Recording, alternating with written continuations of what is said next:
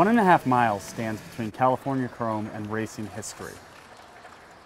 But it all starts here, at the starting gate, a crucial part of any horse race. No horse has ever won a race at the gate, but many have lost there. We caught up with Roy Williamson, the head starter at Belmont Park, to find out more about how horses are prepped for the gate. It turns out that getting a row of temperamental thousand pound animals to enter a small cage and wait patiently for a race to begin is about as easy as it sounds. The main issue is what you see right here is, is having a young horse locked up in there for the first time. Their, uh, their natural instinct is, is fight or flight, and being locked in there, you've taken away his natural defense. So what he's going to do is have to trust you in order to feel safe and confident going into the gate.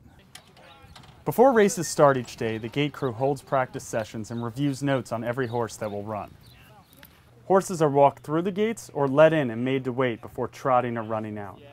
Sometimes they are back down at the gate to teach them that it's not always race time. When it is time for a race, members of the crew share this tiny space with whatever horse they lead in. They use different techniques to help keep their horse focused and calm. I rub their between their ears. For some reason, it works. It gets them to calm down. Some guys uh, rub their tongue.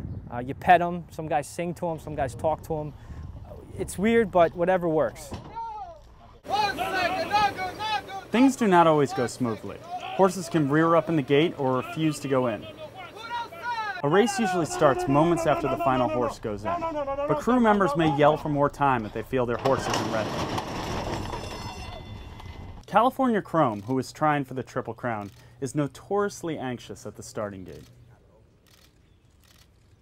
The horse drew the number two position for the Belmont Stakes, which means he'll be among the first to enter the gate.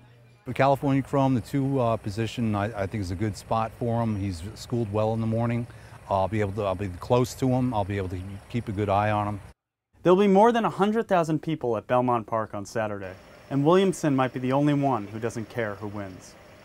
My goal for the entire day, not just the Belmont Stakes and every day, is to get a, a line drive start where all of them come out in a row.